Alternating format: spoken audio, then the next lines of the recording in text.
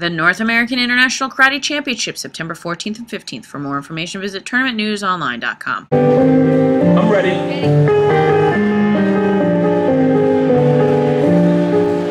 Come on.